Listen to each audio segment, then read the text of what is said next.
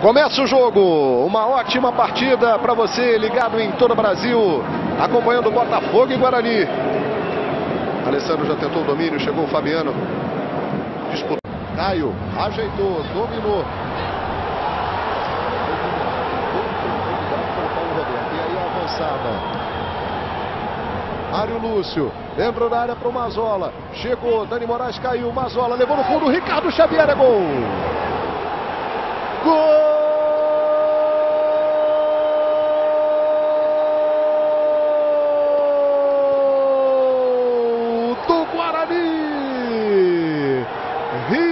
Ricardo Xavier numa grande jogada do Guarani na puxada do contra-ataque. Nós vamos ver tudo de novo.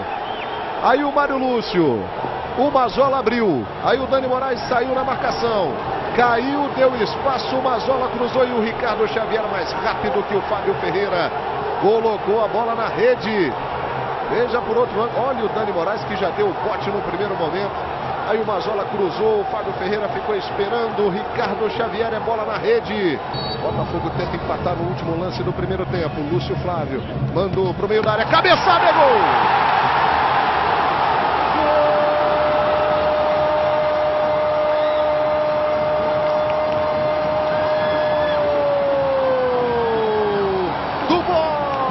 Botafogo!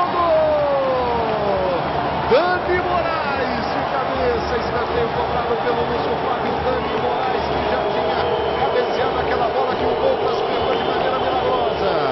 Dessa vez não teve jeito, o Botafogo empata no último lance do primeiro tempo. 1 um a 1 um.